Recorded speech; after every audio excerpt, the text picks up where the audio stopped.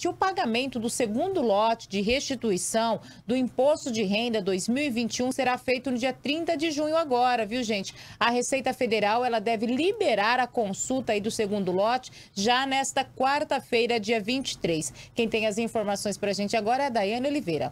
A distribuição dos lotes segue critérios de prioridade, como idosos, pessoas com deficiência e professores.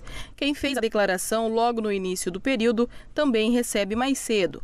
Para consultar se foi contemplado, o contribuinte deve acessar o site da Receita Federal, clicar em menu Imposto de Renda e, em seguida, clicar em Consultar Restituição.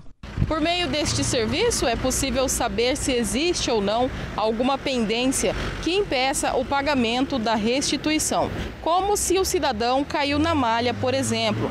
E se houver, basta redigir um documento informando todas as correções. O pagamento do lote da restituição pela Receita Federal é feito somente quando corrigidos todos os dados. O pagamento é depositado na conta informada no ato da declaração.